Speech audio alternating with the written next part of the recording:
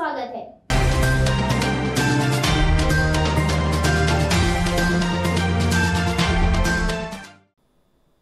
जो किसान 86 परसेंट छोटा किसान मुक्ति के लिए परेशान हो रहा है, कांग्रेस वो अवसर नहीं देना चाहते हैं।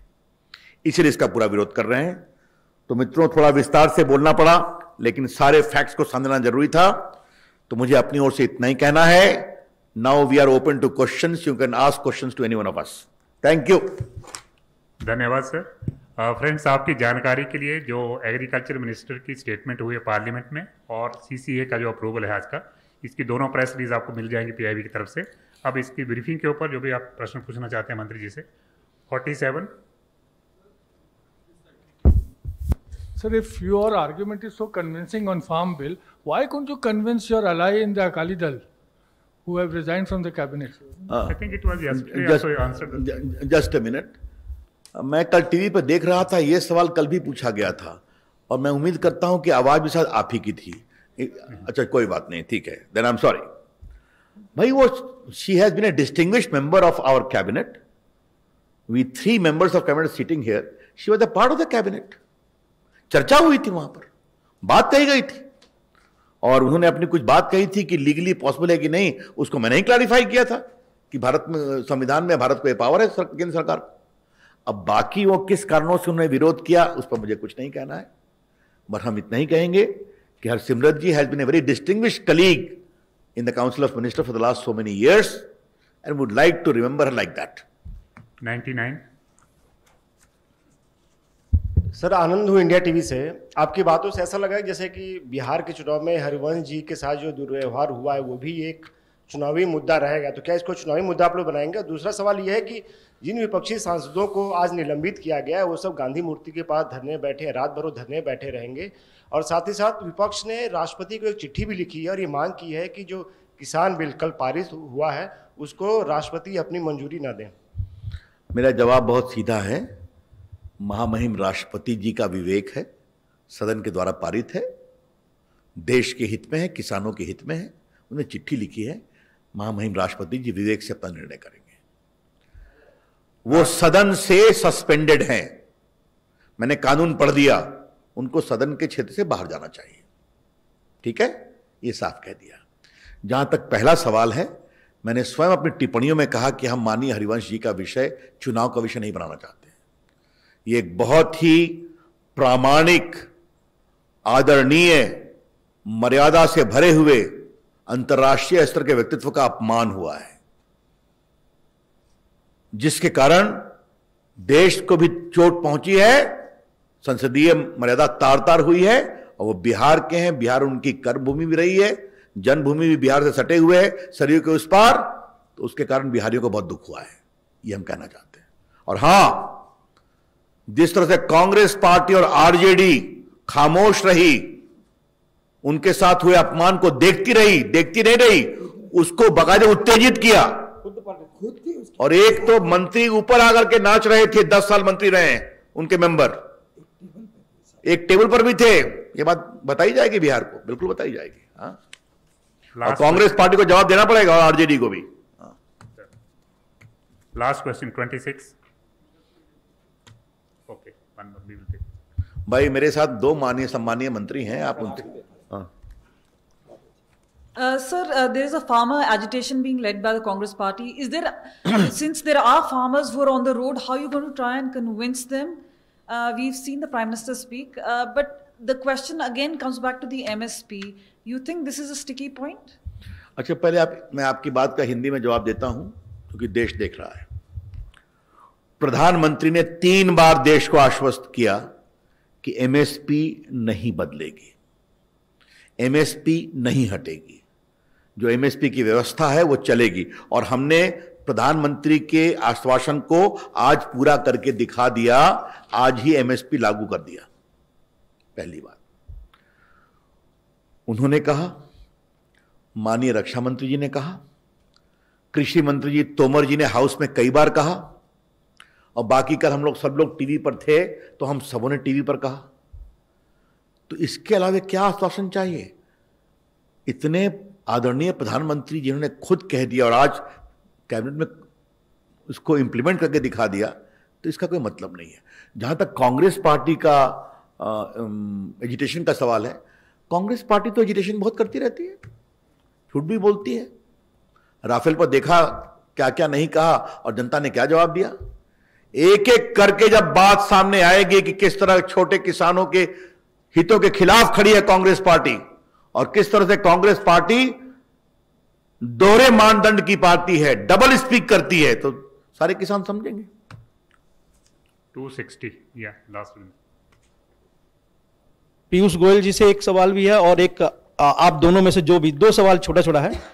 एक तो पीयूष जी एक गौरव की बात आप आज ने, आज ही आपने एक रिप्लाई भी दिया है लोकसभा में। लग रहा है कि आत्मनिर्भर भारत की बढ़ते कदम है कि चाइना से जो इंपोर्ट हुआ है, वो सत्ताईस दशमलव छह तीन प्रतिशत कम हुई है अप्रैल से अगस्त तक। ये आपको लगता है जो मुहिम आप लोगों ने चलाया सरकार ने चलाया देश की जनता जुटी, उसका ही असर है।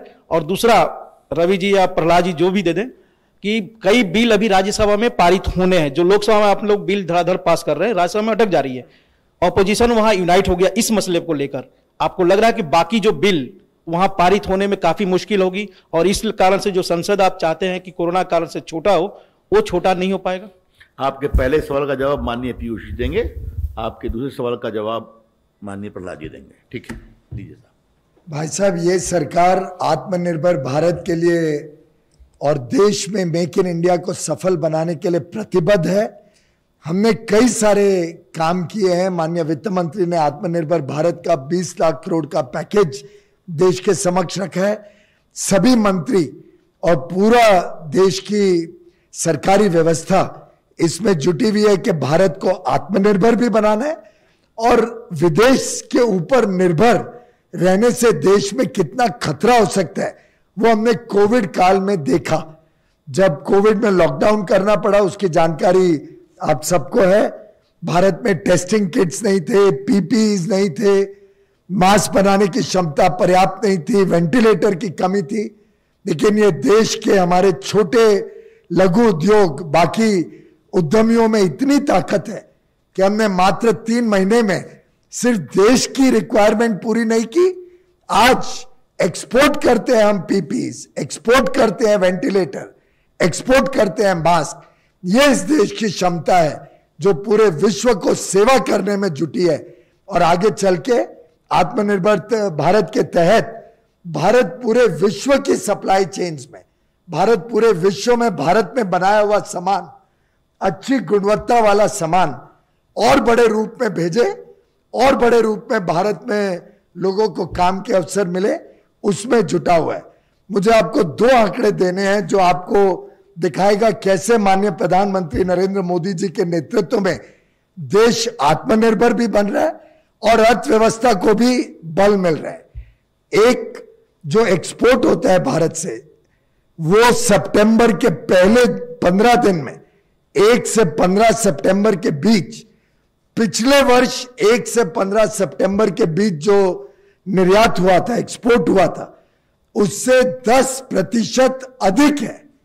Is a ten percent growth in the export from India in the first fifteen days of September दूसरा रेलवे जो फ्रेट कैरी करता है मालगाड़ी जो माल ढोती है एक जगह से दूसरी जगह देश में पहुंचाती है उसमें पहली से 20 सितंबर तक कल तक पहले 20 दिनों में पिछले पहली से 20 सितंबर 2019 के निस्बत 13 प्रतिशत की वृद्धि हुई है। 13 percent growth in the freight carried by Indian railways in the first 20 days of September मैं समझता हूँ ये दोनों बहुत महत्वपूर्ण आंकड़े हैं। दर्शाते हैं कि अर्थव्यवस्था फिर तेज गति से सामान्य होते जा रही है। बजट कुछ सेक्टर्स छोड़ के, साधारणतः कई सेक्टर्स अब पिछले वर्ष के लेवल कई सेक्टर्स उससे अधिक लेवल पर चल रहे हैं। सर्विसेज़ सेक्टर ने देश का मान सम्मान रखा। पूरे लॉकडाउन के दौरान भारत में जो जो कमिटमेंट्स थी इंटरनेशनल आईटी की बीपीओ की मान्य रविशंकर जी के नेतृत्व में प्रधानमंत्री नरेंद्र मोदी जी की प्रेरणा से हमने उस पूरे सर्विसेज़ को पूरे इस दौरान चालू रखा और विश्व ने भारत की सराहना की है कि Bharat is a trusted partner in global trade. ये जो विश्वास पाया है, मैं समझता हूँ ये माननीय प्रधानमंत्री नरेंद्र मोदी जी की जो अंतर्राष्ट्रीय छवि भी बढ़ी है, देश की छवि बढ़ी है, और देश की विश्वसनीयता बढ़ने से आगे चल के इसमें बहुत बड़े रूप में वृद्धि होगी।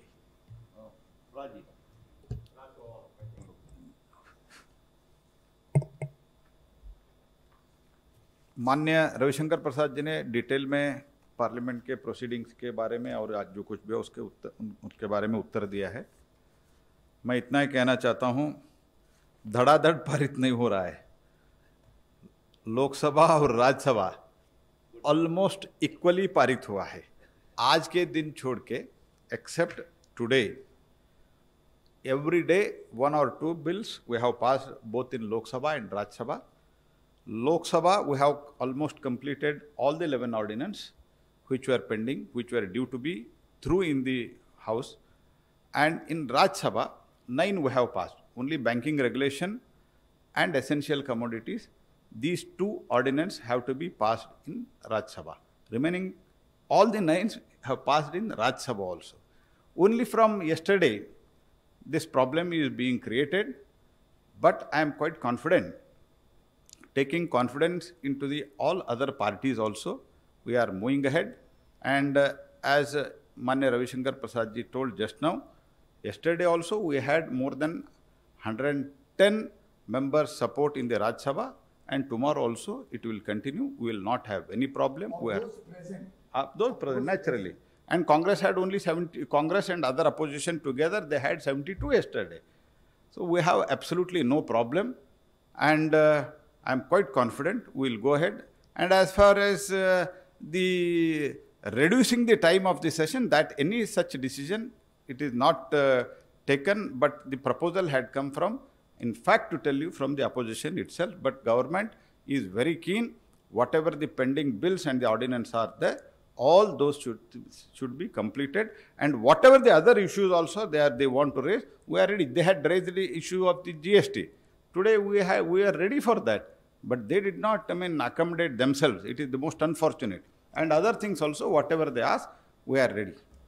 Just to supplement what um, Shraddheya uh, Prahlad ji has said, आपने आज देखा होगा कि चेयरमैन साहब ने कॉल अपॉन किया कि जो उन्होंने मोशन मूव किया था उस पर चर्चा के लिए। इज़ वेरी इंपॉर्टेंट और उनके कहने के बावजूद और उन्हें भी कहा कि जिनको सस्पेंड किया गया है उनका नाम वो नहीं पार्टिसिपेट करेंगे बाकी चाहे तो डिबेट शुरू करें। दो दो विषय पर उन्होंने कॉल अपॉन किया दे डिड नॉट पार्टिसिपेट तो ये स्पष्ट होना चाहिए। सर मैं आपका धन्यवाद करना चाहता हूँ। Friends thank you very much हमारा वीडियो आपको पसंद आए तो लाइक कीजिए शेयर कीजिए सब्सक्राइब कीजिए। कमेंट करना मत भूलिए।